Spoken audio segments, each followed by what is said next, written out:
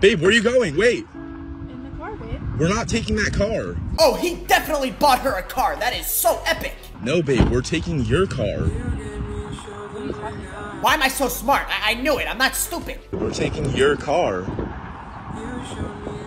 Okay, we get it. You, you bought her a car. Good job, man. Don't cry, babe. Babe, don't cry. By the way, the acting in this video is so good. The, the crying looks so real. No, babe, press the horn and see where it is. I hope he got her like a Tesla or a Ferrari or something. You're gonna love it. I'm pressing it. It's right there.